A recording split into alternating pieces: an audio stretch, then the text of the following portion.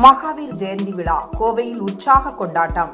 சமண மதத்தின் மிக முக்கியமான பண்டிகைகளில் ஒன்று மகாவீர் ஜெயந்தி. நல்லிணக்கம் மற்றும் அமைதியை கடைபிடிக்க கொண்டாடப்படும் இந்த விழா நாடு முழுவதும் இன்று உற்சாகமாக கொண்டாடப்படுகிறது.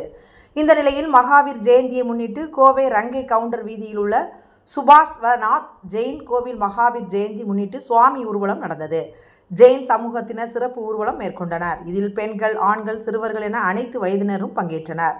ஒருவர் பிறப்பு மற்றும் இறப்பு ஆகியவற்றின் சுழற்சியிலிருந்து விடுதலை பெற வேண்டும் என்றால் ஆன்மீகத்தை கைக்கொள்ள வேண்டும் என்று மகாவீர் கற்பிக்கிறார். இல்லற வாழ்க்கையில் ஈடுபடுவோராக இருந்தாலும் அல்லது துறவர வாழ்க்கையில் ஈடுபடுவோராக இருந்தாலும் ஒருவர் ஆன்மீக அமைதியை பெற வேண்டும் என்றால் ஐந்து விரதங்களை அல்லது ஐந்து உறுதிமொழிகளை கடைபிடிக்க வேண்டும் என்று சுவாமி மகாவீர் கூறுகிறார். ஒன்று அகிம்சை வன்முறை இல்லாமை சத்தியம் உண்மை அசத்தேயா திருடாமை பிரம்மச்சாரியா பாலியல் உறவிலிருந்து விடுபட்டு இருத்தல் அபரிகிரகா பற்றின்மை போன்றவை ஆகும்.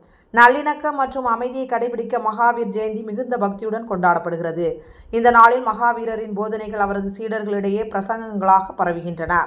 மகாவீர் ஜெயந்தி என்பது உலகம் முழுவதும் கொண்டாடப்படும் ஒரு புனிதமான பண்டிகையாகும். குதிரைகள் யானைகள் தேர்கள் கோஷமிடுபவர்கள் உட்பட பெரிய ஊர்வலங்கள் நடத்தப்படும். மேலும் ஜெயின் துறவிகள் மகாவீரர் வகுத்த ஜ- ஜைன மத கொள்கைகளை பற்றி பேசும் சொற்பொழிவுகளை வழங்குகிறார்கள்.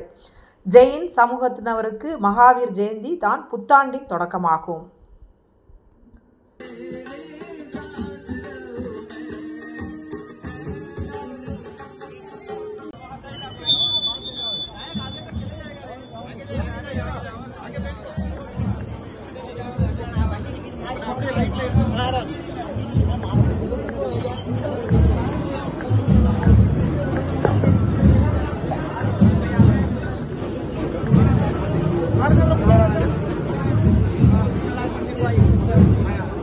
பிள்ளாச்சி கொஞ்சம் முன்னாடி இருக்கு சார். மனசா கிட்ட.